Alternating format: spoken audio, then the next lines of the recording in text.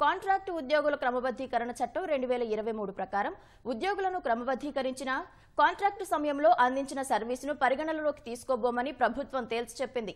రెండు వేల పద్నాలుగు జూన్ రెండు తేదీ నుంచి ఇప్పటి వరకు వివిధ శాఖల్లో కాంట్రాక్టు ప్రాతిపదికన పనిచేస్తున్న వారిని క్రమబద్ధీకరిస్తూ ప్రభుత్వం ఆదేశాలు జారీ చేసింది. అయితే వివిధ షరతుల ప్రకారమే ఈ క్రమబద్ధీకరణ ప్రక్రియ చేపట్టనున్నట్లు ప్రభుత్వం తెలియజేసింది. ప్రభుత్వ శాఖల్లో పనిచేస్తున్న కాంట్రాక్టు ఉద్యోగులను మాత్రమే క్రమబద్ధీకరిస్తామని స్పష్టం చేసింది. ప్రభుత్వ పథకాలు ప్రాజెక్టులో పనిచేస్తున్న కాంట్రాక్టు ఉద్యోగులకు ఈ ఉత్తర్వులు వర్తించవని తెలిపింది.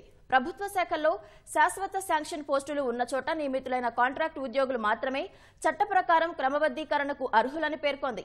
ఖాళీల భర్తీకి సంబంధించిన నోటిఫికేషన్ ఎంపిక ప్రక్రియ రూల్ ఆఫ్ రిజర్వేషన్ విద్యార్హతలు వయసు తదితర అంశాలన్నీ క్రమబద్ధీకరణలో పరిగణలోకి తీసుకుంటామని ప్రభుత్వం వెల్లడించింది.